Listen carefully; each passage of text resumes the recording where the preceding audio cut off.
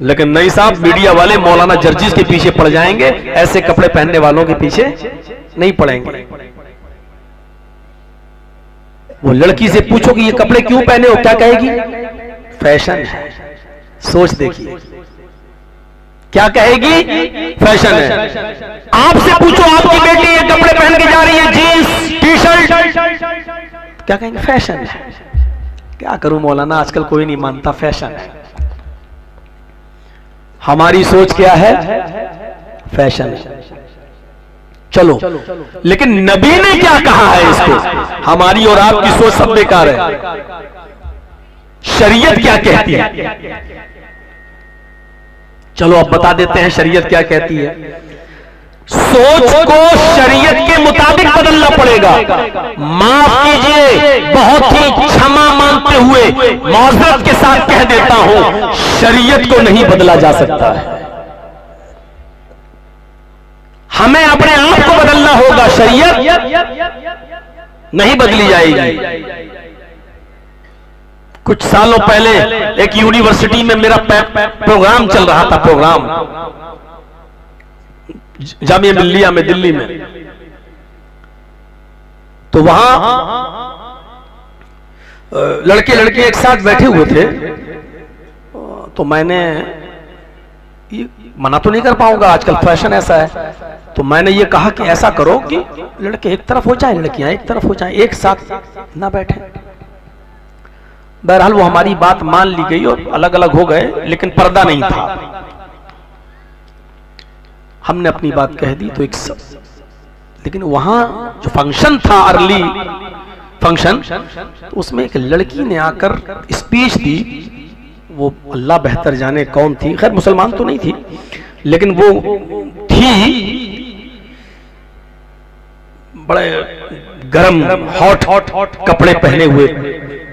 Jeans वीन्स tight white और उसने बड़े अजीब तरीके से स्टाइल में तकी करते हुए, स्पीच देते हुए पाँच मिनट में उसने हमारे ऊपर जूते मारे बहुत ज़्यादा। स्पीच में इशारा में आजकल ये रूढ़ीवादी सोच है, ऐसी सोच है, लड़के और लड़कियों को एक साथ बिठाने पे ऐसा होता है, जमाना बहुत तेज़ी के साथ आगे बढ़ रहा है। पहले चार महीने में आदमी सऊदी अरब पहुँचता था, घोड़े और ऊँट पे बैठ के पानी के जहाज़ पे सफ़र करता हुआ तो बीस दिन में जाता था, आज चार घंटे में पहुँच जाता है। तरक्की का दौर है। जमाना बहुत तेज़ी के साथ तरक्की कर रहा है। इस्लाम फिर उसने कहा कि धर्म भी पुराने हो जाते हैं। हिंदू धर्म इतना पुराना, ईसाई धर्म इतना पुराना, इस्लाम धर्म 1400 साल पुराना। इससे हम अंदाज़ा नहीं लगा पाए, उसने सब धर्मों का नाम लिया तो हम नहीं समझ पाए कि वो कौन है। तो उसने सब धर्मों का नाम लिया। तो इस्लाम को भी, हर धर्म को भी अब मौजूदा दौर के हिसाब से बदलना चाहिए, क्योंकि पुरानी चीज़ें बदलकर नई चीज़ें आती हैं। उसने कहा, ये माइक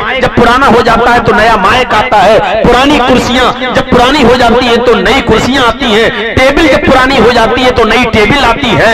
हर पुरानी चीज़ को घर से हटाकर नई चीज़ को लाया जाता है। लिहाजा इस्लाम भी 1400 साल पुराना हो गया। क्रिश्चियन भी 5000 साल पुराना हो गया 2000 साल पुराना हो गया यहूदियत भी बहुत ज़्यादा पुरानी हो गई। इसने ऐसी ऐसी तकलीफ़ की। और मैं सोचने लगा कि इसको क्या जवाब दूँ, क्योंकि मेरी तकरीर तो बात वही होना थी। दिमाग बनाया, कुछ ढूंढा। अब इतनी अर्जेंट वहीं बैठे बैठे कहाँ से दिमाग बनाऊँ? और जूते तो मार गई। मेरा लास्ट में जब हमें बोलने का टाइम मिला तो दस मिनट का टाइम हमारे लिए भी था। तो मैंने कहा, बच्चों को मशवरा दिया कि अल्लाह ताला आपको पढ़ाए, लिखाए, जिस मकसद के लिए आप आए हैं, आपको कामयाबी दे। बोल के, इल्म के ऊपर बोल के फिर हम इस टॉपिक पे आ गए कि अभी हमारी एक बहन आई थी, हमारी सिस्टर थी। उसने तो धर्म ही को बदलने की बात कह दी। मैंने कहा, धर्म हमेशा इंसान को बदलते हैं। और धर्म ना हो तो हम इंसान न रहे। धर्म हमें इंसानियत सिखलाते हैं वो कोई भी धर्म हो। जिस धर्म के अंदर इंसानियत नहीं है वो धर्म नहीं रहता है। मैंने कहा कि एक बात हमारी सिस्टर ने बहुत अच्छी कही है कि पुरानी चीज़ें बदलकर नई चीज़ें आती हैं। इसलिए इस्लाम को भी जो चौदह साल पुराना हो चुका है उसको भी अब बदल कर नए सिस्टम पर लागू करना चाहिए।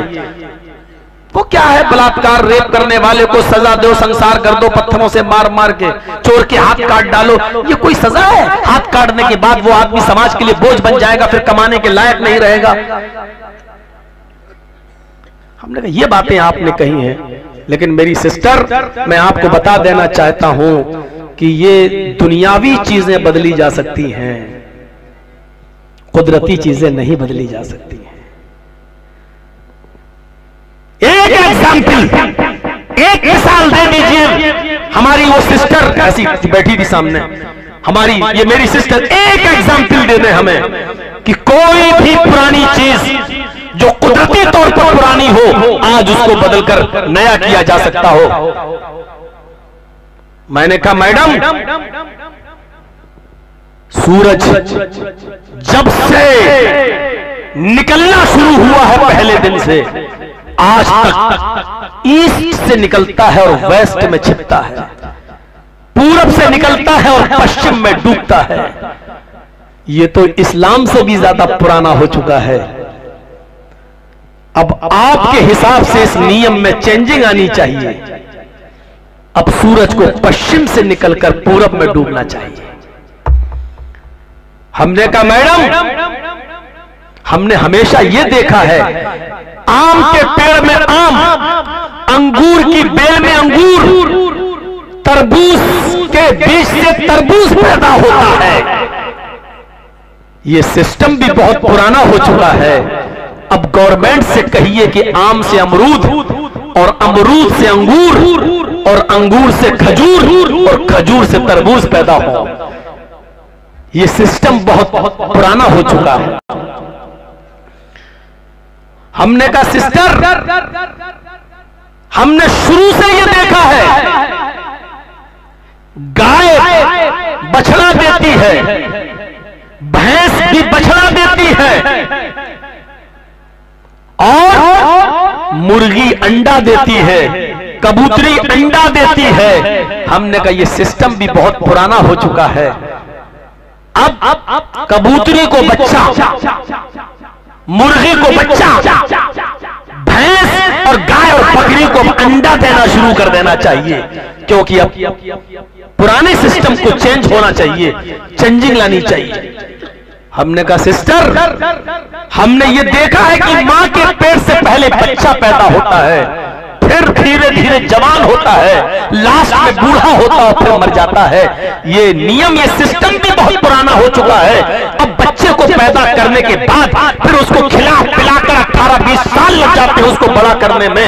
अब ये सिस्टम बदलना चाहिए। अब ऑटोमेटिक वो नियम होने चाहिए कि अब इतनी मेहनत ना करना पड़े पालने पोसने में। अब जवान ही को पैदा होना चाहिए। और फिर बच्चा होकर धीरे धीरे मरना चाहिए। अब माँ के पेट से पहले बूढ़ा पैदा हो, फिर जवान हो, फिर बच्चा होके मरे। ये सिस्टम भी बहुत पुराना हो चुका है, इसको आप चेंज करवाइए। अब वो हमें घूर के देख रही है। मैंने कहा, इस तरह घूर के मत देखो, हम लोग तो मौलवी हैं, कमज़ोर दिल के वैसे ही मर जाएँगे। ऐसे घूर के मत देखो, सिस्टर। मैं बार बार बोल रहा हूँ, सिस्टर, इस नियम को बदलना चाहिए। अच्छा छोड़िए, सिस्टर। इस सारे नियम को आप नहीं बदल सकती हैं, क्योंकि ये आपके बस की बात नहीं है। चलिए अपने टीचर से कहिए। चलिए अपने टीचर से कहिए। सिस्टर, बताइए, टू प्लस टू कितना होता है? आप बताइए, उसी से मैंने पूछा, कितना होता है? कहते टू प्लस टू फोर हमने कहा, दो दो, चार, और चार चार, आठ। ये तब से पढ़ाया जा रहा है जब से स्कूल और कॉलेज की बुनियाद पड़ी हुई है और आज तक यही पढ़ाया जाता रहा है। मैं कहना चाहता हूँ कि ये नियम भी पुराना हो चुका है। मैथमेटिक्स के इन उसूलों को बदलना चाहिए। अब दो दो तीन और तीन तीन पाँच होना चाहिए, क्योंकि दो दो चार और चार चार आठ, ये नियम भी बहुत पुराना हो चुका है। आप एक छोटे से नियम अपने स्कूल और कॉलेज के इस नियम को नहीं बदल सकती है। चलिए आप इस्लाम को बदलने की बात करने के लिए, चलिए बदलिए आप मज़हब को बदलने की बात करने के लिए। हमने कहा, सोच बदलिए। आप हमसे कह रही हैं, आप लोग सोच बदलिए। मैं आपसे कहता हूँ कि सोच बदलिए। मुझे बताइए कि दुनिया में कौन सा ऐसा निज़ाम है जो कुदरती और जो बदला गया हो। कुदरती चीज़ें नहीं बदलती हैं। और मुझे कहना पड़ता है कि इस्लाम भी कुदरती मज़हब है। इस्लाम भी कुदरत की तरफ़ से उतारा हुआ है। अल्लाह की तरफ़ से नाजिल किया हुआ दीन है। इसलिए ये भी नहीं बदला जा सकता है। इंसानों की बनाई हुई चीज़ें बदली जा सकती हैं। लेकिन अल्लाह की तबारक ताला की तरफ़ से नाजिल की हुई चीज़ नहीं बदली जा सकती। तो सोच बदली जिन कपड़ों को आप फ़ैशन कहते हो ना, अल्लाह के नबी ने उस कपड़े को क्या कहा है सुनिए। निसाउन कासियातुन आरियातुन।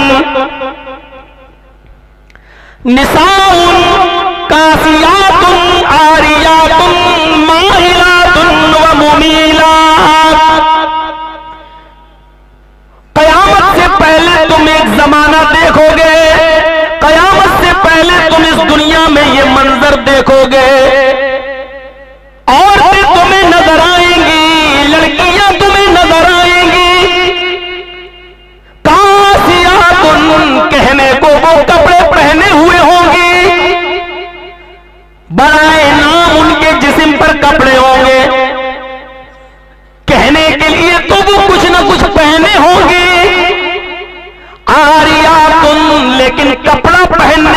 बावजूद वो नंगी होंगी। कपड़ा पहनने के बावजूद वो बढ़ाना होगी।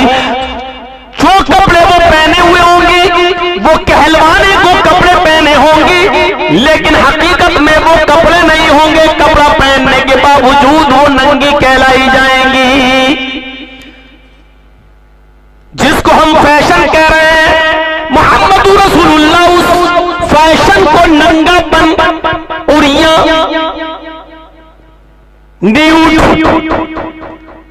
कह रहे हैं कि वो बजाहिर तो कपड़ा पहने हुए होंगे, लेकिन कपड़ा नहीं होगा।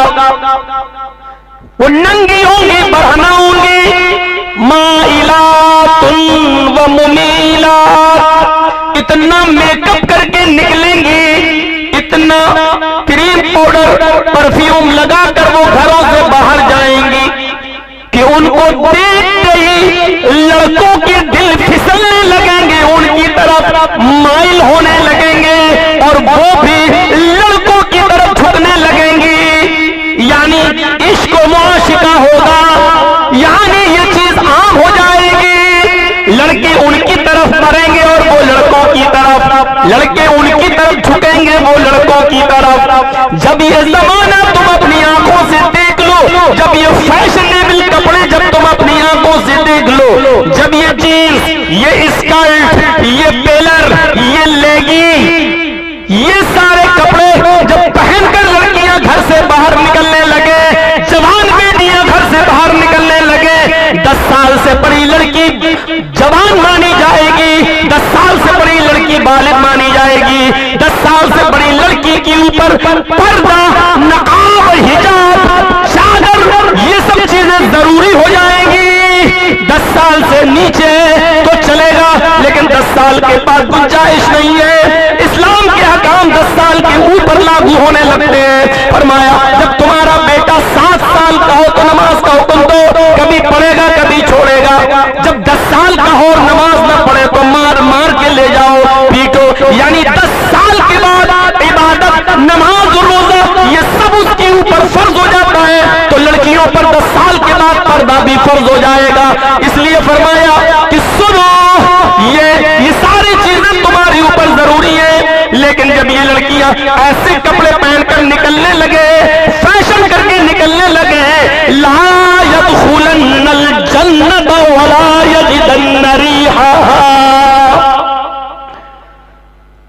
ऐसी औरतों को कभी भी जन्नत में दाखिल नहीं किया जाएगा।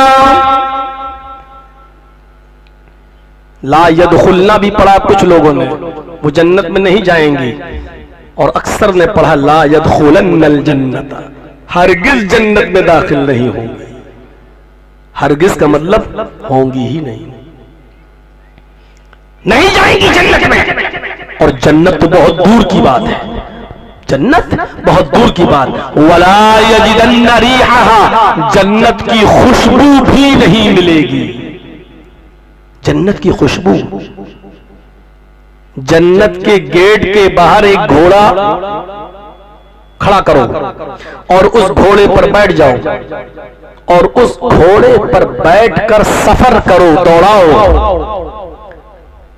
सत्तर साल तक कंटिन्यू बगैर रुके हुए, बगैर खाए पिए, सत्तर साल तक उसको दौड़ाते रहो। सत्तर साल के बाद वो जहाँ पहुंचेगा, सत्तर साल के बाद वो जहाँ पहुंचेगा, जन्नत की खुशबू वहाँ तक आ रही होगी।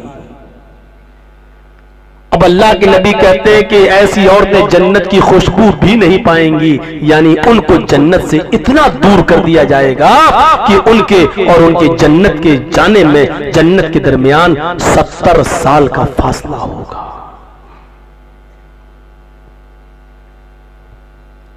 सिर्फ़ सुना ही रहे हैं। अमल तो होना नहीं है। कल सुबह हमारी बच्चियाँ पहनेंगी वही जो पहनती आई हैं। हमारी औरतें कपड़े वही पहनेंगी जो पहनती आई हैं। उनमें चेंजिंग नहीं होगी। मौलाना